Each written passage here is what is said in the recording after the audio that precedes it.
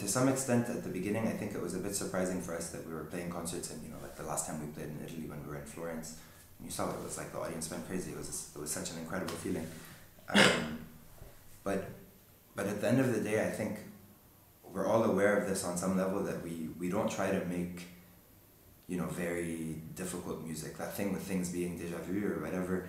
It's really just we're very um, when we're writing we're very theory oriented in some ways where it's always you know this can't be too dissonant. Things need to be harmonious to a certain extent. We want things to build in a certain way. Um, and at some point we start trying to build an image right that we see in our heads for the song. Um, and let's say the song is happening this is going to sound really cheesy but let's say the song is happening in a certain valley um, and there's a green color. So it'll lend itself to a certain kind of chord progression, to a certain kind of motif, to a certain kind of instrumentation, um, which for us is understandable, and I think that that resonates. That it's not really a, it's not about emulating certain things as much as it is to sort of sometimes um, use you know pastiche um, to reference certain kinds of moods, um, to reference other people's experiments with certain moods. Obviously, we're not like plagiarizing or anything. Like we won't take a Beatles song and say this sounded romantic, so we're going to play it the way it is. No, not at all. But we'll use similar kinds of, um, of chord intervals, let's say, but not the actual chords.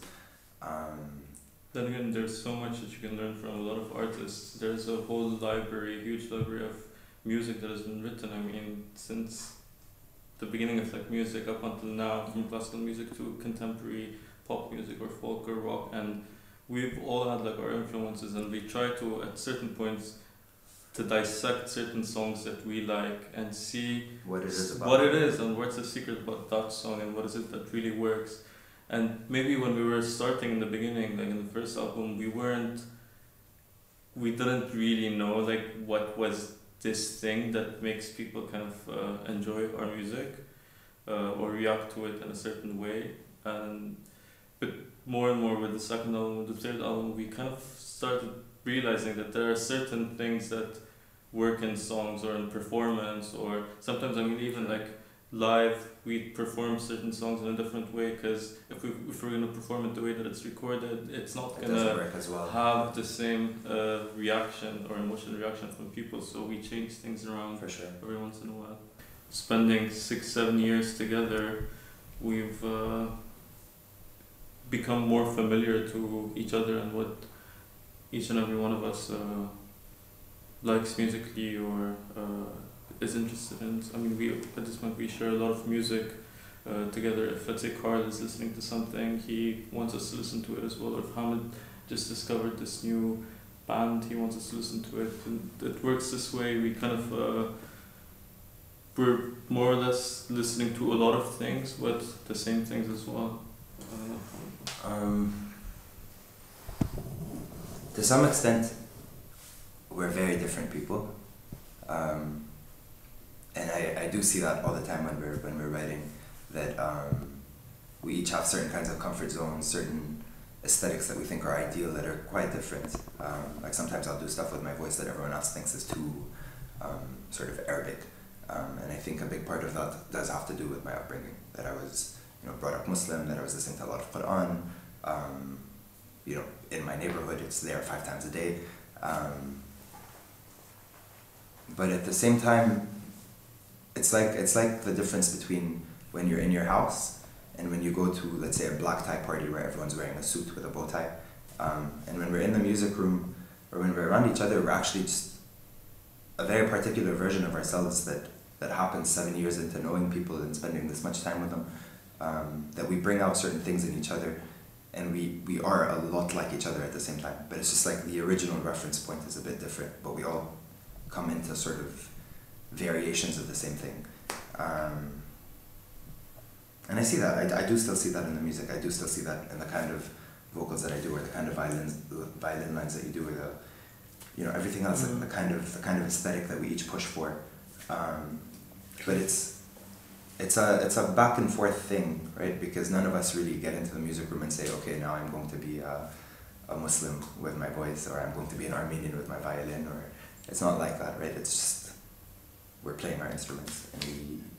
No, it's a it's a very complicated thing, right? Um, there is this thing where there's a history, for example, of you know, the Western media simplifying the Middle East and the Arab world and trying to come up with very, you know, reductive understandings of what the Arab world is, which is very funny, especially with us, for example, this idea that we're the voice of the Arab Spring or something like that is very strange.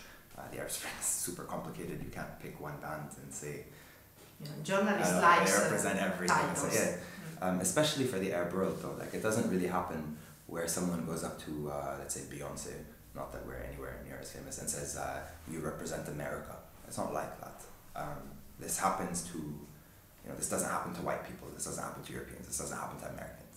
Um, this happens to, you know, the other, um, which is which is strange, and it's to a certain extent it's very uncomfortable, but at the same time, I think it's important for us that that you know we're also quite grateful for it because we do think it's very important that people start seeing another side of the story that there's you know we're not we're not the only five people in the Middle East that are doing this. There's plenty of people the majority of I would say the majority of Middle Easterns are fairly moderate are not the versions of things that they see on TV the majority of Muslims even are not you know uh, bearded and trying to blow things up that's not the way the world works um, so it is it is it is important for us that people see this side of stuff, but it's also a bit strange that it becomes sort of this thing that falls on our shoulders that like speak for a region. We, we can't. Um, we, we couldn't possibly do that. I could answer this in a very sort of like pretentious way, but I'm gonna try to not sound like that. Um, I don't think it's really possible to, especially with music, to not be a part of your culture. Um, things like you know music works I think it was Edward Said that said this that music is always at a tension with noise right? It's like there's a spectrum and you have this thing that you define as noise and this thing that you define in music and there's this back and forth that happens know. Um, and how you define noise is very much of a cultural thing. This idea that you walk into a bar in Italy the volume in the bar is different than it is in Beirut the kind of street sounds that you hear how much people use their horns everything all of that defines noise um, so you end up sort of relating to different kinds of music differently or understanding their relationship to noise differently. Um, it's also you know, sort of impossible to be completely removed from your culture and how you address anything. Uh, we grew up in a certain time in a certain place with certain kinds of families. We read certain things. We watched certain things. All of these things define how you react to different stimuli. And music is, you know, when you're writing music, it's it's it's just an extension of being. To a certain extent, you're you're there and you're being in the world and, and making music because of how you are um, or how you be. Um, so I think these things, uh, you know, they're, they're inescapable. It's, it's not possible to, to escape culture. Even when you're trying to resist it, you're still reacting to it and, and you're still being a product of it. In terms of changing things, I mean, I don't think it's just music. I think it's all art and all, you know, not even art, just people living in a city, um, people reacting to stuff like traffic lights or reacting to politics or reacting to anything ephemeral that happens in the street. All these things develop changes in, in group sensibilities in any culture.